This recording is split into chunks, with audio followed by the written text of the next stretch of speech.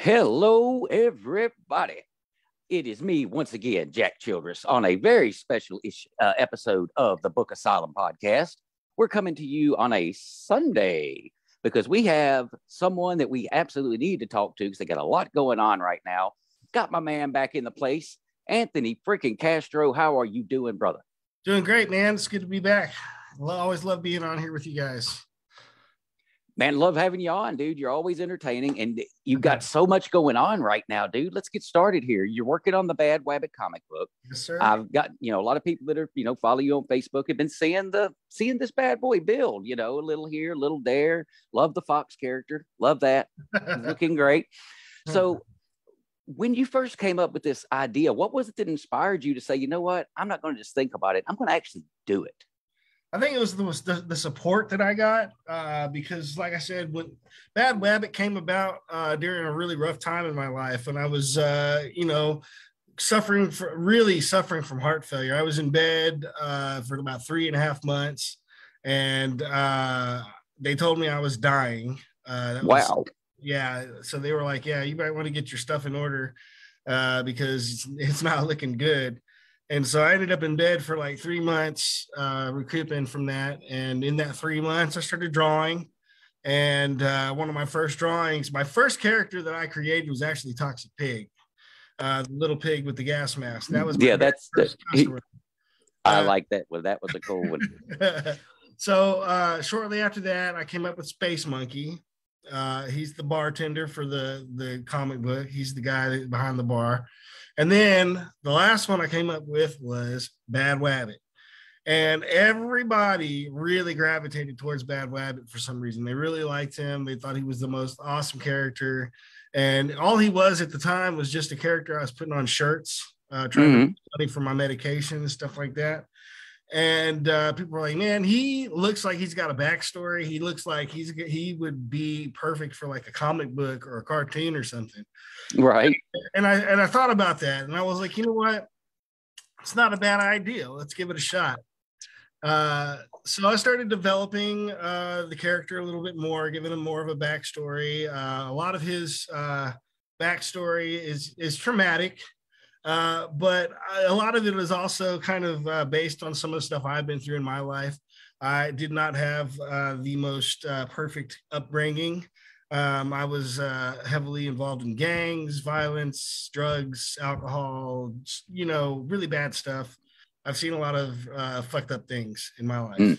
And, but, you know, being told you're dying kind of puts a new perspective on life.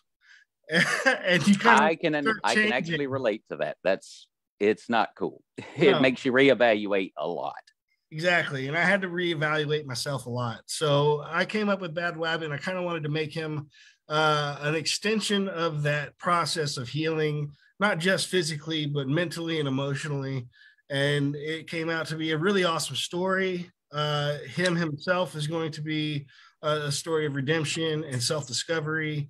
Uh, he's going to when we meet him, like I said, you know, when we meet him, he is down and out. He hates life. He doesn't care about anything. He just wants to crawl in a bottle and die. Uh, mm. You know, and by the end of this whole journey, I'm not even sure how long this is going to go. However long the fans want it to go, that's how long it's going to go. But Heck yeah, you know, and but by the end of it, I'm hoping that he, you guys see that he has changed as a person or a rabbit, I guess.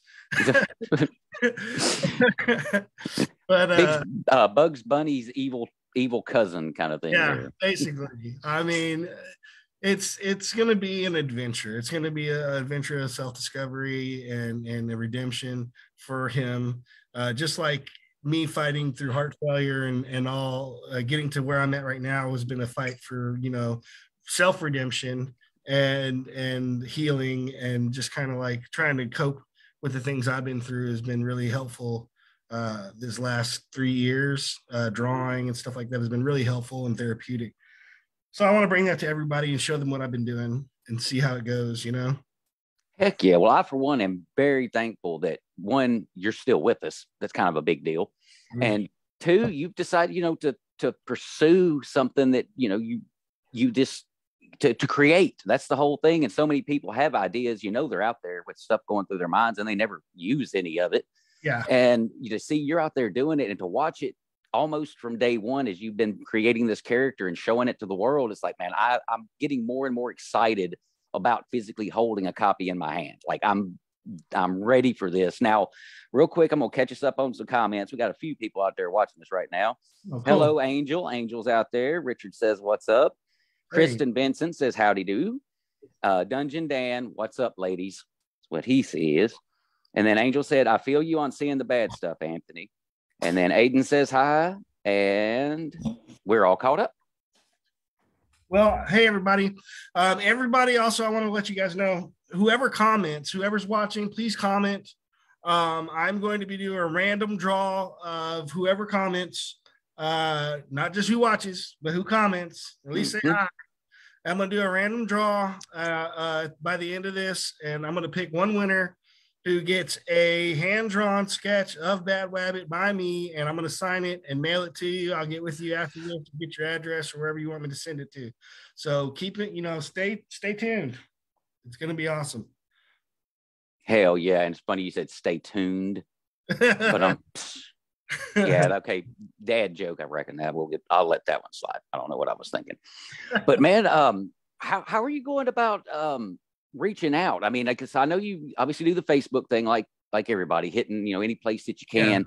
But uh, what other things are you doing to get the word out that you know this is a thing? It's coming. Get ready for it. Well, uh, this last the on the sixth of uh, this month, I went to my sister. My sister owns uh, her and her husband own a comic book store. It's called Titan Moon Comics. It's here in mm-hmm. Texas in Cedar Park.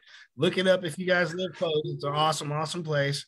Um, but I went out there and kind of, you know, kissed some hands and shook some babies,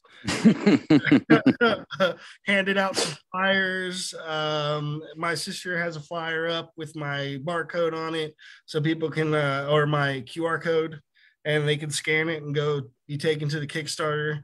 Uh, the Kickstarter's in pre launch mode right now but I'm just trying to build a following, trying to get everybody to notice that it is there. It is happening. This is a very real thing. It's not, you know, I'm not just walking around. I'm doing comics. I do because there's a lot of people that do that, and I am not one of those.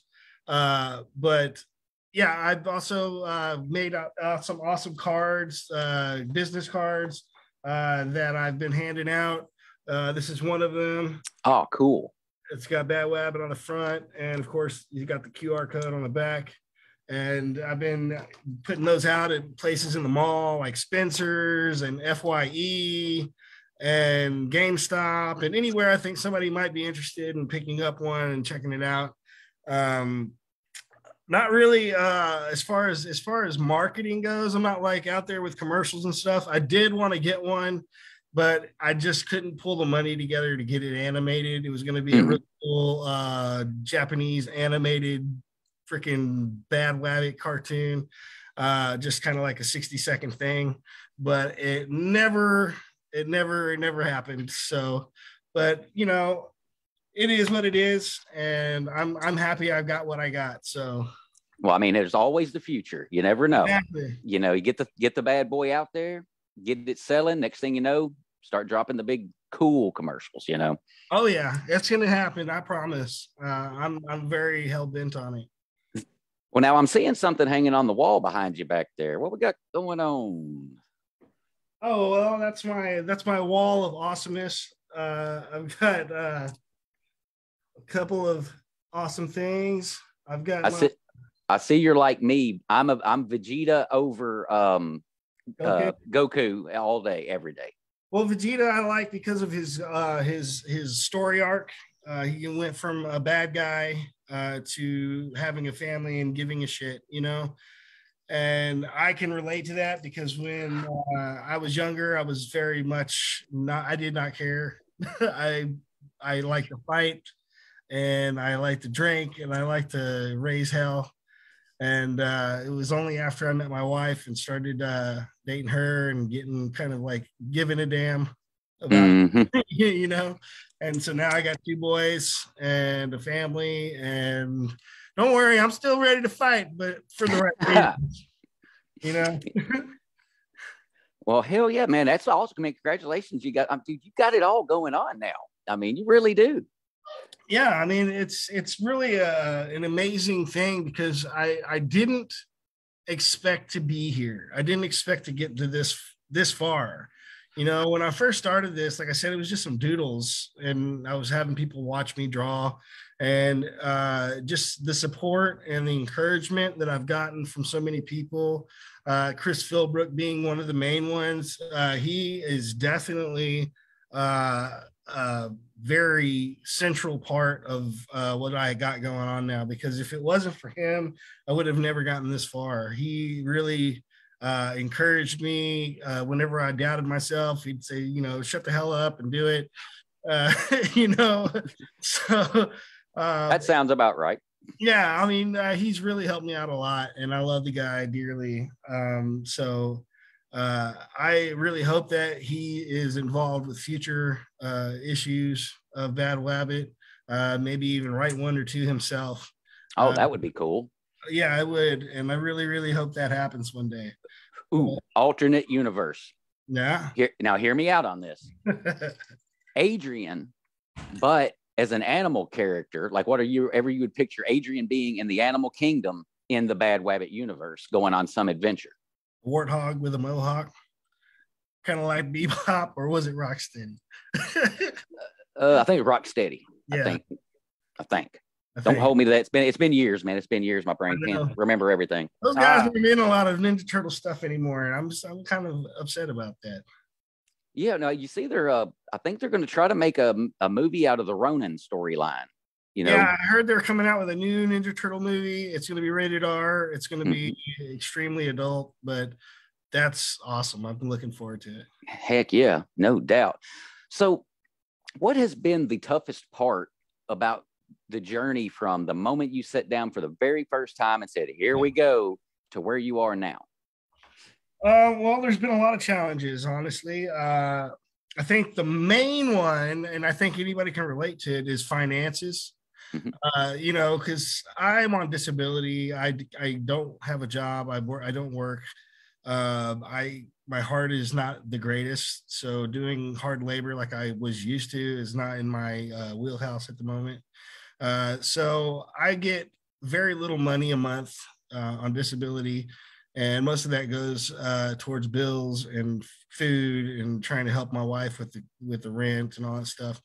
So I scrape together literally anything I can uh, to try and get this, um, you know, done. Uh, the artist that I have, God bless him, uh, is amazing uh, with the understanding of that. He is willing to do it. He, uh, excuse me, he wrote uh, he wrote me the other night because I gave him an unedited, very raw look at book two of Bad Wabbit, and he wrote back. He goes, "Dude, this is amazing." He said, "I I am de- I'm dedicating myself fully to this series. I want to be the main uh, artist for this whole series because yeah, if it's if the rest of it's gonna keep going that much, you know, like better each one." He said, "I I want to be a part of it," you know, so uh, he's been very understanding about the financial part. Uh, the second biggest challenge is my my I guess you would say I don't want to say self-esteem, I guess confidence in my mm-hmm. writing. And uh, I'm not a, a, a published writer. You know, I've written some things. My main forte when I was younger was writing lyrics for my rap songs because I I thought I was going to be the coolest rapper ever, and I almost got sponsored by Budweiser because they uh, they came to one of my shows and uh, said, "Hey man, you're really good. We want to sponsor you," and that ended up going uh, south because I got arrested and oh. I missed that show. Well, so, hell, that should have been street cred right there with Budweiser. Like, yeah, living that life. I ended up spending all my money and time trying to get legal after that. So I didn't get a chance to get on stage for a while. Damn. And by, by then I had uh, my first son coming, so it was you know I chose I chose father life over uh, thug life, I guess you could say. I'd say you made the right call. You know, just to be honest there. Uh, so now, yeah, uh, no, go ahead. Oh, I was, I was going to ask you. Um, your art style is very unique. It it, it feels like kind of a of a mish, mishmash of different styles that come together to make your style? Because I mean, I feel a little anime in it, Mhm. but I also feel you know some just traditional cartoon art. Mhm. It's just kind of you got a little going on right there. Is that am I right in my I- I- interpretation? I think so because I'm not a traditional artist. I don't. I didn't have any kind of training. I didn't. I didn't go to art school. Uh, back when I was in college, I did 3D anime. I went for 3D animation. Never graduated.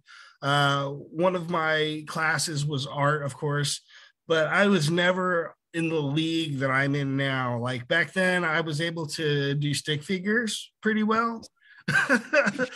but start somewhere. yeah and uh but over the last three years especially i have been watching so many uh youtube videos of it's like if i see something that i don't know how to do i will go and watch a youtube video on how to do it and i won't te- i won't usually do it the way they show it Mhm. the way that best fits me. So like they'll they'll show you a certain way to do it, and I'll be like, well, if I do it sort of like that, but then change this, that's kind of easier for me. So Mm. what- whatever's easier for me, that's the way I do it. And so that's why when you look at my stuff, you get sort of the mashup of different kinds of uh, styles and and you know ways to do things. Like people watch me do it live, and they're like, huh, I never thought about doing that. That's easier. I'm like, yeah, it's, that's why I do it. well, dude, I'm gonna tell you, man, I absolutely love the art style. I mean, I mean, before I even got to know you a little bit, that's the first. That was your first impression was Bad Yeah. Wabbit, and I Mhm. saw that and I went, dude, what is this? this is cool. and so, you know, long story short, now we're here hanging out talking about it because, man, I'm I'm on board the team that's like, we got to get this done. it's got to be out there, man, because it's you, man. You know, and I know you got the Kickstarter getting ready to go, which I will be participating in as much as I can. You know, ain't got that, you know, Rockefeller money over here, but I'll do everything I can to help this out because, like I said, I want this to hit Yeah, because I think it will. I really do think it will. I think it's going to be amazing, man. I'm, I'm really super psyched about it because, I mean, it's been three years coming. It- It's been a long, long, long journey. I'm, really super psyched Oh, about sorry, it I got because it's been three years coming. Trying to put the link here in the comments so people can go and check it out. Oh, and uh, real quick, um, Angel co- commented, uh, the confidence is huge for me as well. Mind you, I've sold many books or many copies. It still kicks my ass. Yeah, I understand, man. It's it's hard to be confident when you're unsure about what you're doing because you're not going to be sure until you put it out there though. See, that's Mhm. that's the catch 22. It's like you got to be confident enough to put it out because if you're if you don't know if it's good, you're you're not going to know if you're confident enough. You know what I mean? You know what I mean? Like you're not going to know Yep. confidence pays off unless you actually do what you set out to do and that's one of the big uh, things that happened to me is i was really like i don't know if i want to do this but like i said when i wrote the first script for bad wabbit it was actually about 46 pages it was, Mhm. it was enough to do like an actual small graphic novel Yeah. and, um, i sent it to chris because he said he'd take a look at it and like I said, I was expecting him to hit me back with, oh, it needs this and that, and you need to change this and all that stuff. And uh, I was like, okay, here it comes, here it comes. And he was like, I really can't do much with this. He goes, this is really good. And I was like, what? really? Are you serious? And so that's when I realized I might actually have something, you know. And you know, on the sly, me and Chris, we we we banter sometimes back and forth. He'll ask me, "Hey, man, wh- what's up with this?" And I'll be like, I'll give him the backstory of why that is, and he'd be like, "That's pretty cool," you know. And so, like knowing that, it just keeps me going, man. Knowing that I got something, you know. I think I really do have something, and uh, I'm not being cocky. I'm not being, uh, you know, one of those people that like to promote themselves because it's me. But I really think this is uh, going to be cool, and I think everybody's going to be able to get on board with it. Well, man, I'm you know since we keep bringing up Chris, obviously he's got a huge fan base. There's people that just will drop anything they're doing the moment he puts something out, snatch it up, and either read it, listen to it, whatever. Because I mean, Yeah. he's kind of a big deal, you know. Yes. So how does it feel to know that you've got that resource that you can go to and be like, "Hey, Chris, I need some help," and he's like, "All right, what you need?" I mean, that's cool as hell, man. It's a dream come true, man. Because I tell you this, Chris. Uh, for those who don't know who Chris is, Chris Philbrook, he's the creator of Adrian's Undead Diary, an amazing zombie series that I was a fan of uh, at least a year and a half before I ever even spoke to Chris. Uh, uh, you know, and I was I, I used to go to work and I'd put in uh, AUD and I would go through every single book and just listen to them. Uh, and then I talked to him on Instagram, said, Hey, man, I really like your books. I think they're amazing. I appreciate it.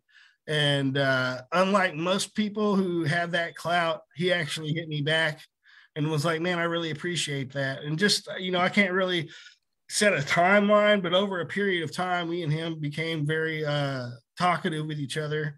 And uh, he saw what I was doing and he offered his services to check it out and see if he, you know, wanted to edit it. And uh, he edited it, and uh, we split the script up into two books. So now we have the first two uh, books already ready to go.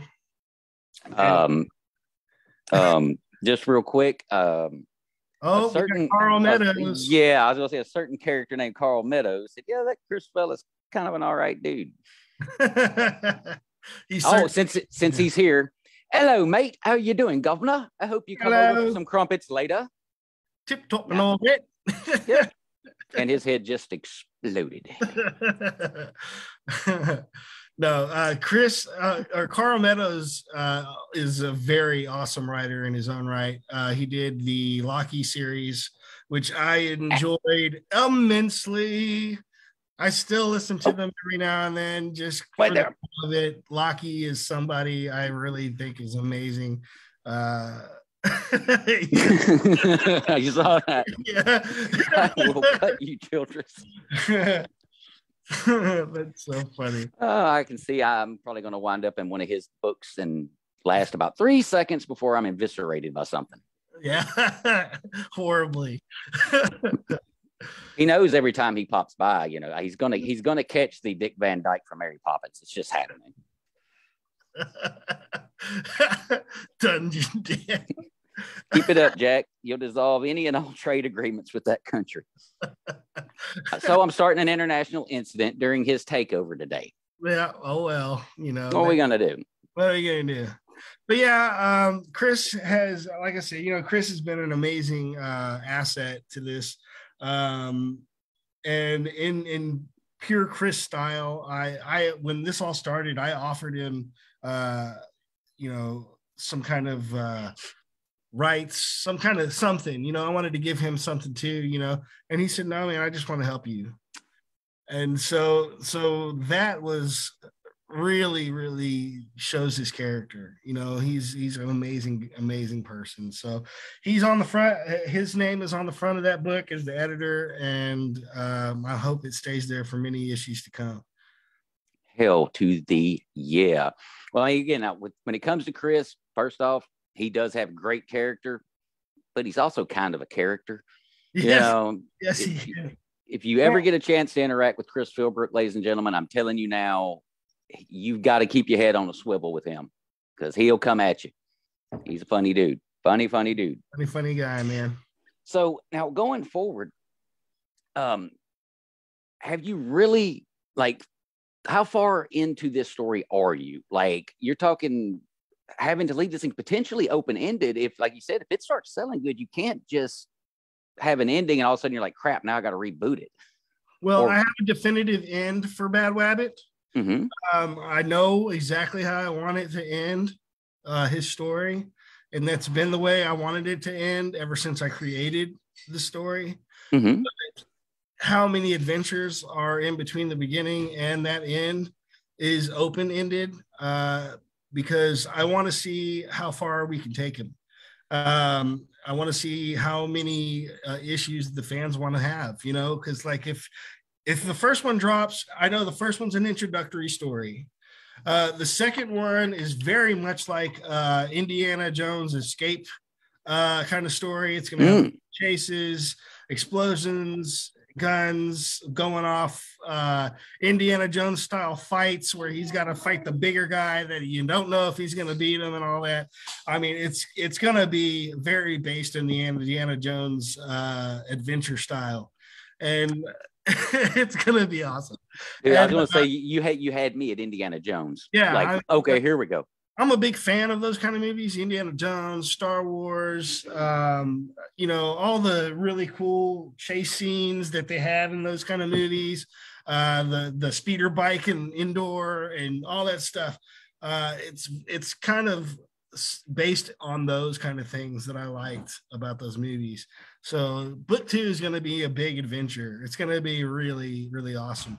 Uh, book three, um, going on. You know, I don't want to give away too much, but you know, book three going on, it's going to be uh very much based uh it's going to have a lot of adventure but it's going to be more based on his self-discovery adventure that i'm or journey that i'm trying to to uh you know put him on because if he's just constantly running around blowing shit up you don't really get a lot of introspective uh you know so you know but it's gonna it's gonna it's gonna be an adventure but at the same time you're gonna get to see more of who bad wabbit really is what he's been through uh going back all the way to his parents before he was an orphan uh living on the streets uh you know before he was fighting for money you know just to stay alive. And that's how he learned how to fight. You know he was a he he fought for money uh, that's something uh, I can relate to. I, I did that at one point,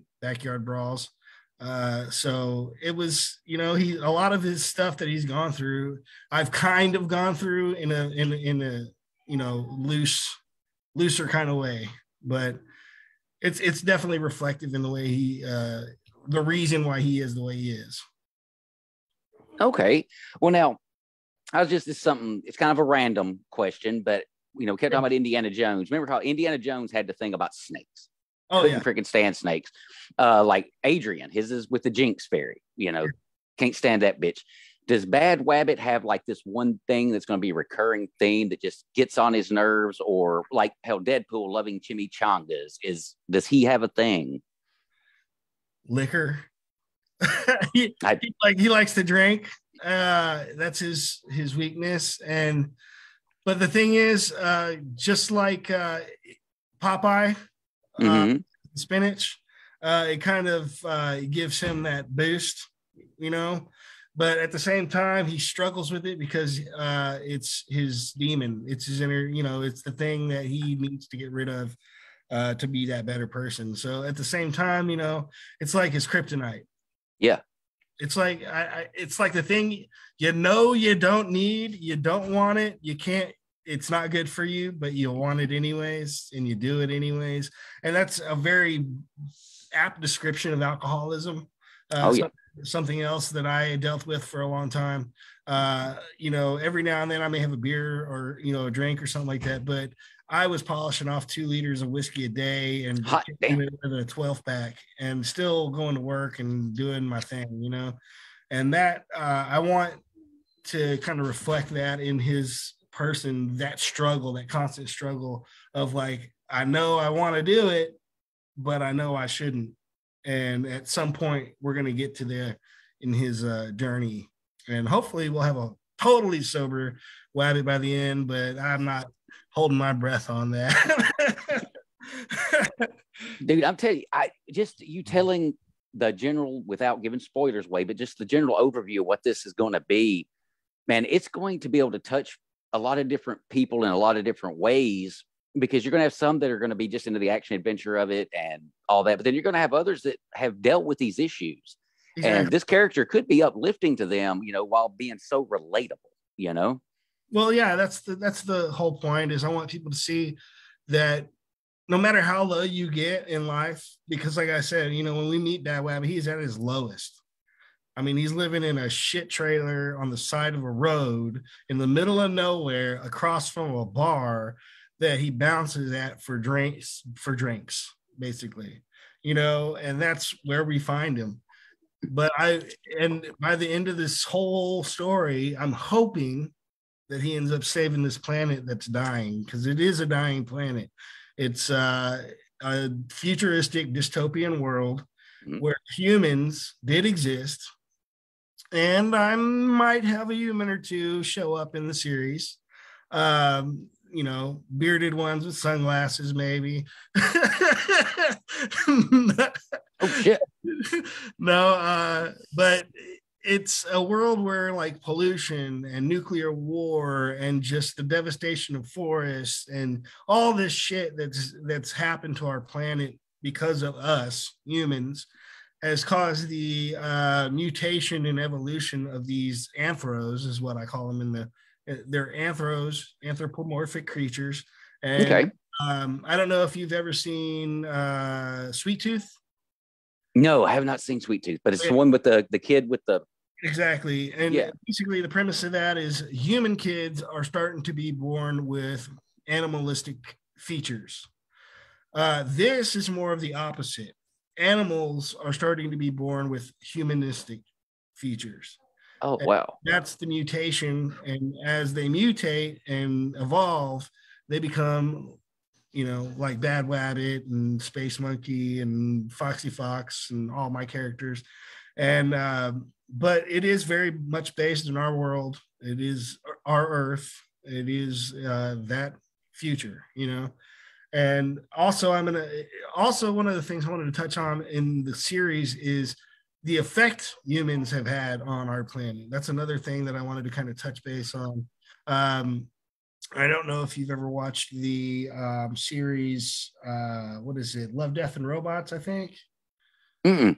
Of course, Um, I've gotten real bad about watching anything these days because there's so many uh, TBR action going on. Well, for anybody out there that does know that series, there's a there's a skit on there. There's a little series called Three Robots, and they're basically going through the rubble of the human society or human culture, uh, human wastelands. Uh, no more humans, you know.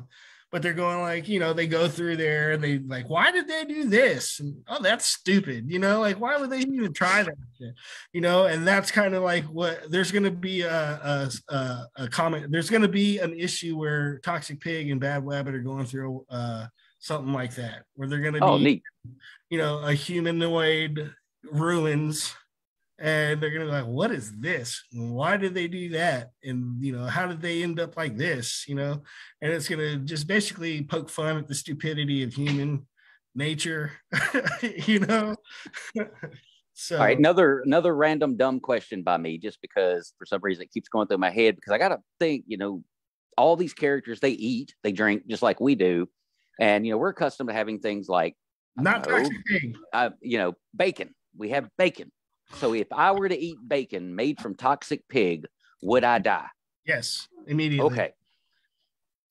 Now, Toxic Pig, the reason he doesn't seem as evolved as the rest of everybody else is because he is an actual pig. He's not a he's not one of the anthros. Oh, He's a science experiment, and he's probably older uh, than anybody alive at the moment. Hmm. So that story will be told throughout the issues. But just so you know, he is not an anthro. He is an actual pig. And he was done, uh, he had lots of science experiments done on him. And he uh, wears that gas mask so that he doesn't kill everything around him because his breath, his insides are so toxic that if he was to take that mask off and just give one good exhale, he could probably kill everything in a mile radius. Wow. See, I thought it when I was actually going to ask you if the mask was to help protect him. So No. that's a whole different twist. It's help to actually protect everybody else from him. Yes, and he doesn't need to eat or drink like everybody else. The mask pretty much takes care of all that stuff. Oh, neat. Yeah. Dude, that's imagination on a whole other level right there. I mean, Yeah. that's Well- cool as hell. Well, I was like, you know, uh, he's got a mask on. How is he going to eat? I said, well, he doesn't need to eat. The mask, you know, does that. How's he going to drink? Well, the mask does that. If you have a mask that does everything, you don't need to ever take it off. You know? True enough. So yeah, I mean, my creation came out a little bit with him, but it's a really awesome story and it's a really awesome character. And at some point, see the, the thing about every character in this, they all have a traumatic past. It's a traumatic world. You're in a dystopian uh, Mad Max meets uh, the Western, you know, the Wild West. So every character has a traumatic past. Foxy, she was a slave. Uh, she was used for all kinds of manners of things you would use a female fox for in that kind of place. And then uh, she ends up killing her boss and taking over the ship, and now she's a pirate. So, uh, Toxic Pig, he was a science experiment, you know, and uh, he was, you know, experimented on for years and years and years. And so, but each character deals with their trauma in different ways, you know, just like people, you know, people yeah. deal with their trauma in different ways. And that's kind of the scope I wanted to go and show like the different scope of how people deal with those traumas. So you've got Toxic Pig. He's been through some traumatic shit, but he's like the nicest, you know, little dude. You know, you got Bad Wabbit. He's been through some traumatic stuff, and he crawled in a bottle. Uh, Foxy Fox, traumatic stuff, but she decided to take it out on the world. You know, and so you got all these different scopes and different uh, characters who deal with their trauma in different ways. So it's something I wanted to point out on that. It's really cool. Okay. Now, do you have any other characters in development that you plan on using in the future? I do. I do. I do. Um, I've got some bounty hunters and assassins uh, that I've uh, developed. Uh, actually, you guys can see what they look like right now on my my uh, Patreon. Mm-hmm. So I've got them posted on the Patreon right now, and uh, also my AUD uh, fan fiction is on there. Uh, cool. The fourth fourth entry right now. So uh, next Wednesday I'll be dropping another one. Uh, well, now since you just brought that up, um, how's that experience been for you? You know, because for anybody that doesn't know, he has been writing in Chris's universe, which is a really neat thing if you get the opportunity to do that. Because I did for Jeff Thompson, which was cool. But mine was just literally a prologue. You're getting to write like some some lengthy stuff here, man. And how you know what's that been like for you? Well, before I even started doing that, I kind of uh, ran it by Chris because I respect the guy so much and he's helped me so much. I don't like stepping on anybody's toes, especially somebody who's helped me so much, you know. And oh, so absolutely. Anytime I anytime I make a move in that direction with the AUD fan fiction, I'm always asking Chris first, you know, like, hey, uh, I want to do this, and I just want to ask you if it's cool. And t- most of the time, he'll, you know, he'll say yes. Uh, sometimes there's like a stipulation, you know, hey, put this at the beginning so they know that this isn't canon or something like that. And I'll be like, okay, no problem, you know. So it's been really cool to be able to write into that world uh, because my character uh, is based on me. His name is Anthony Castro. Uh, he has a dog named Tuckaroo, and uh, they are basically trapped in an apartment building uh, in the zombie apocalypse and uh, his main mission is to get across the country from Texas to Montana uh, to go and try and rescue his kids and wife who are uh, staying at her mother's house. So it's really based on a lot of people I know, me, uh, the situ- you know, the, the, the apartment is pretty much described as the apartment I live in. So I mean, I can take pictures of my apartment and put them in places to describe the the apartment he lives in in the actual story. So it's like that that related you know? Uh but uh it's very cool. Um it's been fun. Uh i've i've got it on about i don't know 20 entries uh as of now. And i'm just kind of gradually posting those on my patreon. Uh, a lot of people have told me that the little bit they have read is amazing uh, especially uh, you know the relationship between my character and Tucker, because Tucker is a smart ass little dog who likes to talk shit. he doesn't he doesn't actually talk, but it's it's it's from the the scope of my character uh, interpreting uh, Tucker's you know barks and mannerisms. So it's really funny. you know, like uh, there's a scene where a zombie falls through the ceiling while my character's laying butt naked in bed, recovering from uh, getting injured. And, uh, you know, he says, Oh, well, you know, Tucker's started barking like, Zombie, zombie, kill it, kill it. you know? so you know, it's a lot of that stuff. It's really cool. Well, see, I like that because I mean, let, us face it, we have Otis, Mhm. and I can't. If Carl, if you're still around, I apologize. I can't remember the pug's name right off the top of my head. Oh, particles, oh, part- particles. particles, particles. Yes, it hit me right as I said that. Particles. and so, and now you've got Tucker. So, dude, yeah, it totally fits. Well, It that's why I put fits. Tucker in there because I was like, all these main characters have really cool little animals with them. And I said, man, Tucker would be a perfect little zombie apocalypse partner. He's very smart. We have buttons around the house that let him uh, tell us if he wants to go outside. We uh, treats, want to play, need love. Like he, What? he'll go over there and push him. And you know, if he wants a treat, he'll come in and he'll say, treat, treat. Mm. That's his favorite. Okay, button. So now, what type of dog is this we're talking about? He is a border terrier. Uh, I think he's mixed with something else, but maybe dachshund. But uh, but he's a very good dog, and he's very very smart, smarter th- than I think he should be. Tucker, come here. You want to come here? Come yeah, here. cameo, man. We're all about a cameo with an animal around here. Trust me. Oh, you got the Tuckaroo. He Yep, Carl Meadows says outraged. Oh my God, look at that. You So- little cutie patootie. This guy is the Tucker from my my my AUD fan fiction. So he looks just like him. If you guys are ever reading my fan fiction and want to know what that Tucker looks like, There he is. look like. This is him, Oh, he is absolutely gorgeous, and he is very very smart. which makes him dangerous. yeah, yeah. We uh we thought he was really sick yesterday. Uh, was it yesterday? Well, the day before, we thought he was really really sick. Uh, he wouldn't eat, he wouldn't drink, he was hiding under stuff and just really like not himself. And uh, we thought maybe we'd have to take him to the vet. And turns out he just missed his mommy. He was depressed because as soon as she walked in, he was fine, just running around playing, Hey, mom, hey, mom, hey, mom, look at me, look at me. And so he's got a character. He's he's something, man. Yeah, we have we've been having to deal with that with uh, the new family member. He's been here a little while now, but not that long. Uh, it's a little hairless Chihuahua named Tui, for short for Ratatouille, and Ah. he's got separation anxiety way up here. So, like, if mom leaves because that's her dog, dude, Yeah. this guy is freaking out until she finally comes back home. Even Yeah. with me here, like, dude, come hang out with me. Yeah. Fuck you, no. back I in know the the living feeling.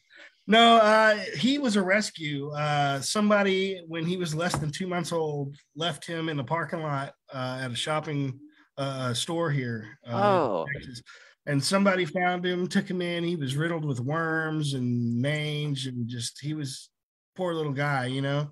And uh, it, we were looking for an emotional support animal for me because it was around the time that I had just got diagnosed and uh, was home a lot and just kind of by myself, you know. And I, oh, that sucks.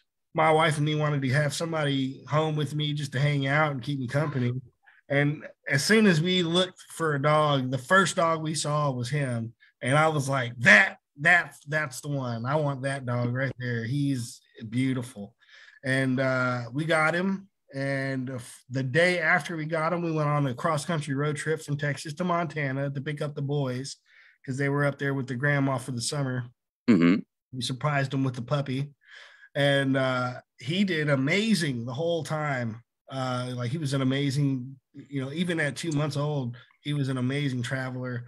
And uh, See, I'm jealous of that because I have never been lucky like that. I think I've had one dog out of the past probably 10 that I've had, and cat the cat included, that uh, they just freak the entire time. Hell, I had to dig my cat out from underneath my truck seat when he was like still this big because he just he would have so he has to be in a carrier. Otherwise, ain't no telling where he'll wind up in that thing. well, now he don't want nothing to do with me. He just loves his mommy. That's how it works. I've always been told people don't pick their pets, pets pick their people. Yeah, And that's just the way that works. she's his uh, uh, emotional support human. Mhm. That is freaking fantastic. Well, now here I've got a little question. You know, I mean, because dude, your art is legit. I mean, I know you're going to deal with the imposter syndrome every now and then. Everybody does. It's part of it. But dude, your art style is fantastic. Have you thought about, you know, once you really get Bad Wabbit going and you've got it all figured out and you're pretty much just able to flow with it now? Yeah. Maybe doing side projects. Like if somebody came to you and were like, hey, man, would you mind designing me a cool cover for this lit RPG? Because that kind of art would work great for some lit RPG action. Oh, I'm totally, sure. totally willing to do it now. Um, I just don't have the uh, people making the offers. Uh, but if anybody was willing to make that offer, I mean, I'd be willing to do it. Uh, well, that's why we're putting it out there right now. Yeah, I mean, totally willing to do it. Um, my thing is, like I said, confidence. I'm I see all these amazing artists and all these amazing covers that you know are out there right now, but um, I feel like my art could be better, and I really, really am trying to strive to get it better.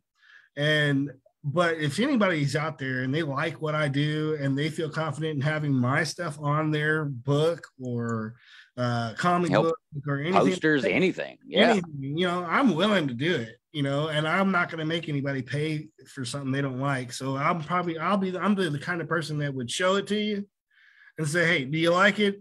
And if you don't, you don't have to pay for it. I'll keep it. You know, you find somebody else. I don't want to make people waste their money on something. I just went through that myself um, with these 3D models uh, that I'm trying to get for the Kickstarter.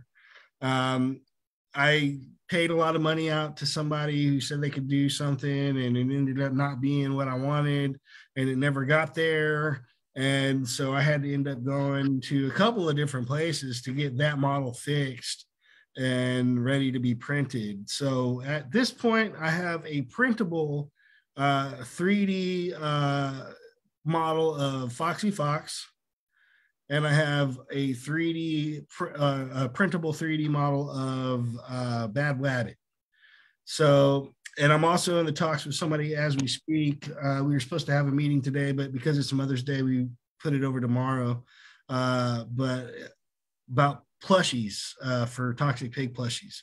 Oh, nice. Yeah, so it's gonna be it's I'm I'm trying to get as much cool stuff for people on this Kickstarter. So when they come over there, they're getting something. It's not just the comic book, you know, or just a sketch. You know, I want people to be like, dude, I've got like one of three of these plushies, or I've got the only, you know, 3D model of uh Bad Wabbit, you know. So I want I want it to be very special.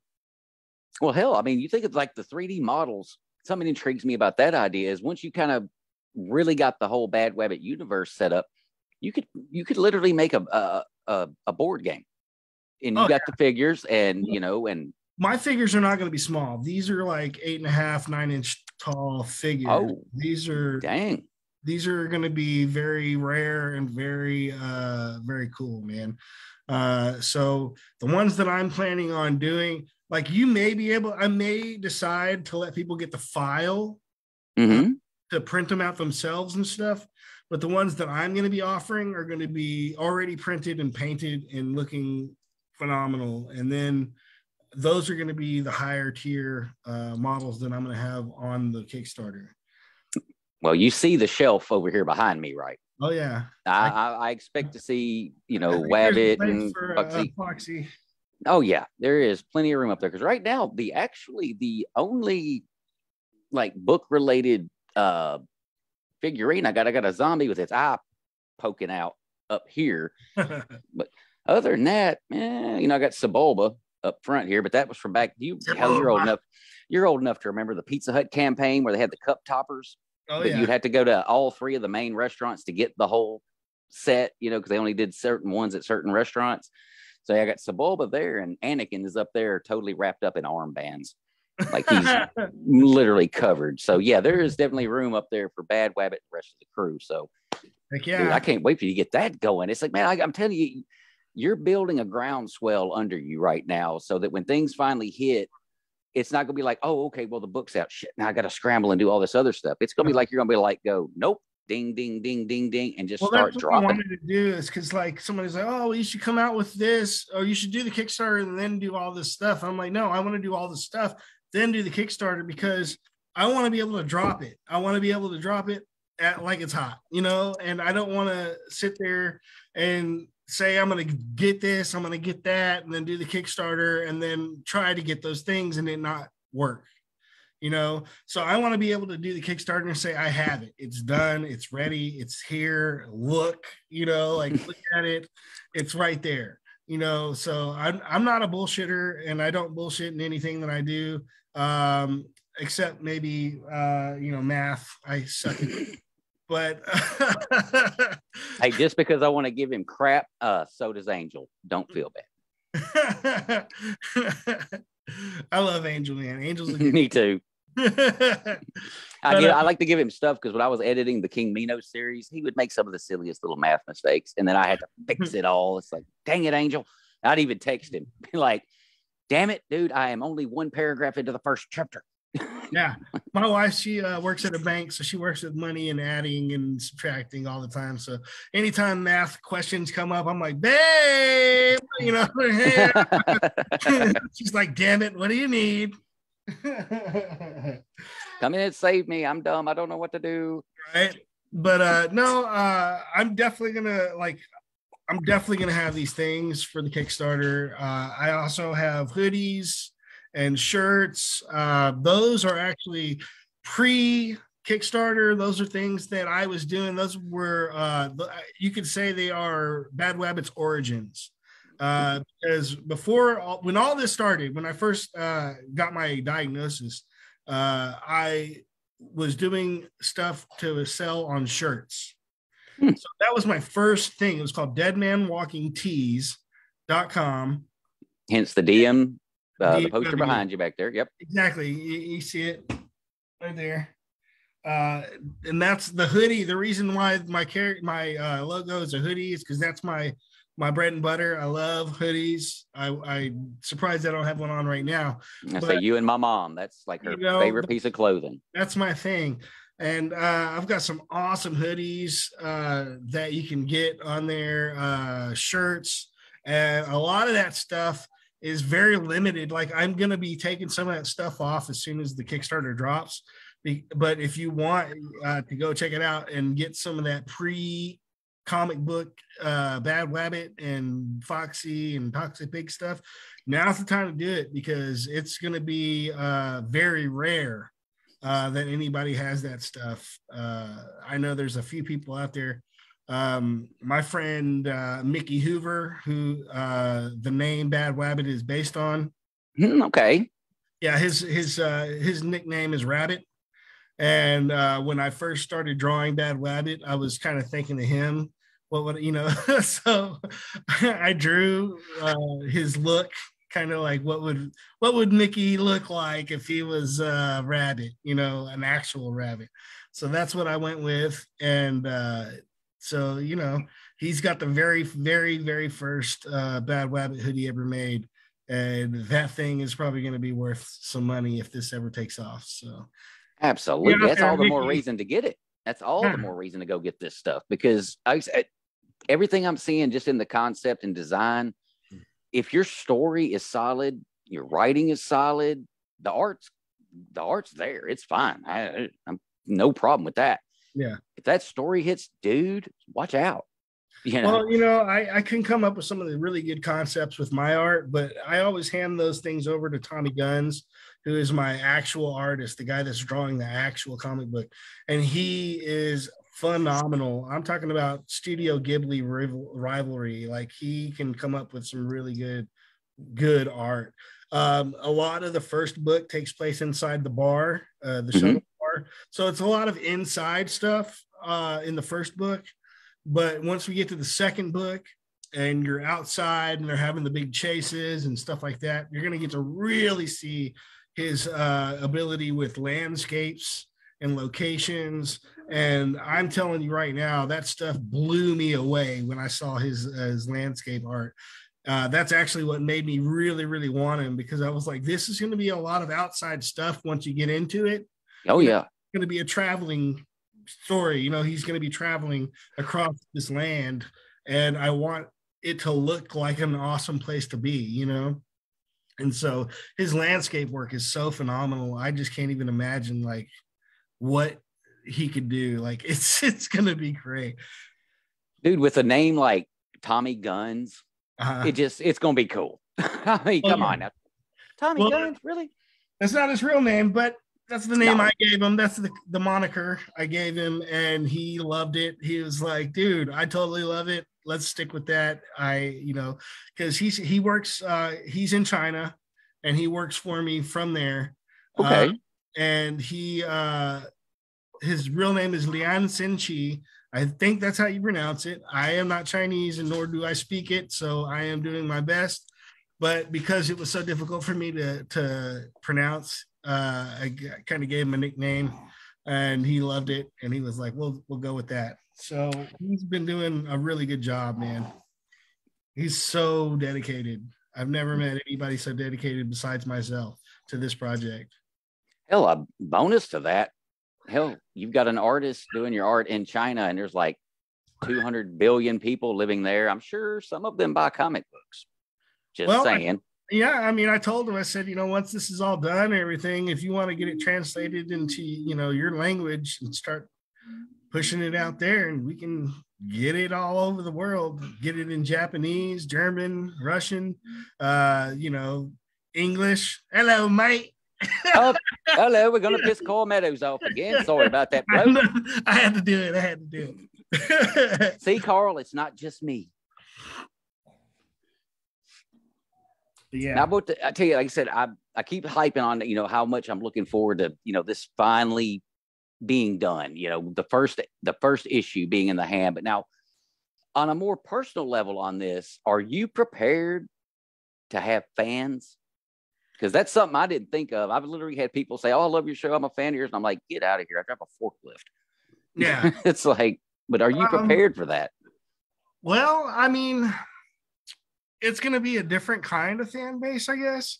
But like, I did music before, and when I was doing music, I actually got pretty well known, uh, especially locally.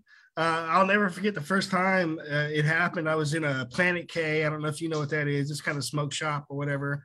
And I was for I was looking for a bong or something, and uh, I was talking to the girl across the counter and I was like, Hey, you know, can I get your number? And da, da, da. And she was like, she was like, ah, you're a bum. I don't want to talk to you. Whatever, you know, trying to give me the cold shoulder. And while I'm standing there trying to talk to her, some guy I never met in my whole entire life walks up to me and he goes, Hey, aren't you Castro? And I was like, Yeah. And he goes, Bro, I got your CD in my car. That shit jams. He's like, Can I get you to sign it? And so What? uh, I was like, yeah, yeah, yeah. So he ran out, got a CD, brought it back in. I signed it. And uh, as soon as he walked away, the girl was like, who are you? Listen, nobody. I'm a bum. I don't even know who that guy was. yeah, yeah. Some guy I met in the restroom. well, hey, uh, real quick. Um, okay, so uh, first Aiden says, "Damn, you're at it again, Jack Childress," and then Carl Meadows, "It's like a virus." Jack has a natural talent of interviewing and making it fun. Hee hee. That was Angel. You see, you got to be careful who you pair me up with because the hijinks and the hilarity will ensue at some point. It's just part of it. Mm-hmm. Well, I love being on here, man. I love coming up here and cutting it up with you guys. You and and you know all the other guys. That one guy, uh, what's his name? Uh, Dungeon something. Oh yeah, yeah, that pain in the ass. I know exactly who you're talking about. Still trying to figure out a way to get a ticket to uh, Texas and handle business. But anyhow, um, now here's my thing. Um, how do you plan on? Well, actually, that's not actually how I want to ask it. The way I need to ask it because you know you said you're on disability, and I know they they can be restrictive about incomes. yeah. in your situation, releasing something that's just artistic, you know, like this, is there like a point if you hit a level where they're all of a sudden gonna be like, ah, you know, we can't pay you anymore because you're you're doing too much, you know, you're making too much money. Is that like a thing you're gonna have to deal with? Well, if I get to a point where I'm making too much money to be on disability, then I'm not going to be worried about disability. True enough. you know True what I mean? So um, that's that's not a worry for me. Um, if I'm making enough money to where uh, it outweighs my disability, because I'm you know I'm not afraid to share. I only get like eight fifteen a month. Oh damn. Yeah. So imagine, you know, having two kids, bills, and all that stuff, and then still trying to do this on just that once a month, you know, and it's not easy. You have to really budget. You have to really know uh, what you're doing. You have to look for the best deals. And that's one of the things I've learned through this whole thing is networking and really like looking for the best deals you can possibly ever get, you know, and it's it's been a really good lesson in business for me because I didn't go to school for business. This is all just stuff I'm learning as I go.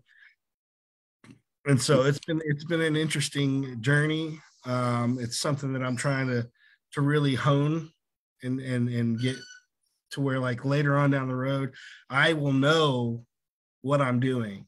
I will know where to get the best deals. I will know who to talk to to get those deals and get this made and get this drawn and get this sold and so forth and so on, you know? Well, so, I'll tell you this much, um, and I'll just say it here and I'll just make it a proclamation, even though I can only 90% say I can back it up. you get that book out, you get that you get that first one out. Physical copies it's out there in the world. If the, i guess i'm assuming you're going to do like digital as well you know like a lot of the like comixology or like yeah. i don't even know if that's still a thing or not. Yeah it is. Okay but you know stuff like that to get it out there. Once you get that done i will do everything i can to be, make you a featured author in written undead and the asylum of fear and in other places. But we got to get that bad boy out there you know. Oh, yeah. once you get that done though because i'm telling you you become a featured author things change. Well, they I, do change. I appreciate that. And I definitely am going to be doing a lot of outlets for this book. It's going to be physical, it's going to be digital. I'm even uh, considering once uh, we get a little bit of that money coming in, uh, doing uh, an action comic uh, where it's uh, motion, you know, and with voice actors, sweet, all that stuff. And it'll be, it'll probably be like a year after the first one comes out but I'll put it on my YouTube um, and people can go and watch the action comic and it'll be cool. Well, if you need a redneck sounding character, just holler at me. I'll see what I can do for you there. We can get some stuff done, some fried chicken, some taters, biscuits, and such. maybe, maybe. I think there's one character he has quite a a, a southern uh, talk to him, so that'd be cool, man. Hell yeah! Well, man, we've already hit past the hour mark, but if you got oh. more you want to keep talking about, dude, let's just keep going. I'm good for now. Like I said, I still got a little while before I got to get in here and make that Mother's Day dinner. Well, uh, I definitely would like to pick a winner for Ooh. the uh, self, you know, for the uh, sketch, signed sketch of Bad Wabbit. So I'm gonna go over here and uh, look through this here. Um, I think I'm gonna just pick it random. Yeah, we got us a few names in here. Uh, about it. Aiden Coiler, Collier, Collier. Aiden Yay! Collier. Hot damn! The archaeologist has won him a prize. So Aiden Collier, uh, message me and uh, give me your mailing info and I will send you a hand drawn uh, sketch of Bad Wabbit done by me, the creator of Bad Wabbit, signed and everything. Well, Sounds just so good? you know, um, he's in the UK. Oh so, shit! Yeah, we got to do. We got we got to do some international shipping on that action. It's all good, man. We'll figure it out. Yeah, but Aiden's a cool dude, man. I'm happy that he he won that because uh, he does Angel Show um, with him, uh, that's the the scraggly looking guy that loves like paintball and things like that. And he happens to be an archaeologist, like legit, you know. Oh, but he's not cool, he's he's not the Indiana Jones type. Like he's not out like going through like pyramids and stuff. But no you know, over in you know, but in England when they're doing new constructions and stuff, he goes in and uh make sure that there's nothing there that doesn't need to be disturbed, you know, and other things. And well, awesome. I've, I've shipped stuff all over the world uh, with my um, my clothes and my my hoodies and all that stuff from Australia, England, uh, the you know Africa, Japan. So we'll get it done. Ah, look at here. Aiden says, "Ooh, that will go on the wall. We can sort out some shipping." Heck yeah, I'm down with that. And uh, just a flashback, I guess after my uh, need to go to Texas and kick Dan's ass, uh, he said, "Come on over, Jack. Got a got a ball punch waiting for you." he don't know my ball's so big they'll just bounce up and punch him in the chin. Right. you see that he'll bounce off his chin, blah blah. yeah, yeah. Done brought the redneck out in me on that one. Oh man, but yeah, I mean, uh, yeah, that's pretty much it, man. If you guys want, uh, I will put my uh, link to the Kickstarter again down here in the chat so everybody can go ahead and uh, grab a chance to go and check that out. Uh, like I said, there's going to be so much limited stuff on there that you're not going to get it anywhere else. I mean, it's going to be a one time thing uh, as far as I know. And there it is. I just put it in the chat. It's very uh, cool. Starter. Go sign up for it. Um, it'll it's in pre-launch mode right now, and if you push the green button, you will be notified uh, when it when it goes live. Um, I probably will uh, echo Chris's uh, thing where he did it live when he pushed the button. So I might have a live and uh, just push the button live and let you guys know and hang out for about a you know a couple minutes and see where it goes. Uh, awesome. I'm not to. I'm not expecting it to explode. Uh, Chris has got funded in like 76 minutes or something like that. I'm not expecting that, but yeah, that was insane. That's insane. That's just crazy. But yeah, I, I appreciate you having me, and it's been a blast as always. And I hope I get to come back and hang out with you again sometime. Well, you're well, you're absolutely going to get to do that, especially for the book release. Once that oh, happens, we're doing a book release party. Come on now. Oh yeah. But now, uh, real quick, because uh, let's get some more members over in your other groups. Let everybody know where all they can find you on Facebook. Well, you can go to DMW Comics. Uh, that is where I post all the latest, coolest, neatest stuff for uh, my comic books and all that stuff. Uh, if you guys just friend me, I'm I'm very friendly, so you can always he is. Uh, you can always just come and and check out my uh, know personal page. I'm a very personable person, so uh, that's cool. And uh, let's see, DM, uh, DMWcomics.com. You can go there, um, and you can find all my social stuff, like anything that has to do with my social links, uh, Twitter, Twitch, uh, my store, all that stuff is on dmwcomics.com. So if you want to, that's the best place to go, I guess, is dmwcomics.com. So go check that out and and definitely uh, add me as a friend. Stay tuned. Get on that Kickstarter, and we're gonna have a party, bro. We're gonna we're gonna we're gonna do it. We're gonna do it big, baby. That's how we do it around here. All about the indie. Well, ladies and gentlemen, thank you so much for tuning in for this very special edition of the Book Asylum podcast. Uh, granted, it's on an off day, but it was totally worth it. One of the best interviews I've done in quite a while. Not oh, happy Mother's, Mother's Day. Oh, yes, and happy Mother's Day. Yes, exactly. Thank you for calling that. Even though I'm about to go cook Mother's Day dinner. uh, and for the record, uh, anybody that knows how to make shepherd's pie usually uses ground beef or, like you said, chip beef, anything like that. Try adding a, the, a pound package of breakfast sausage, hot, mild, regular, whatever, dude takes it to a whole nother level. Just mm-hmm. saying. So now y'all know what I'm cooking for dinner, and you can't have none.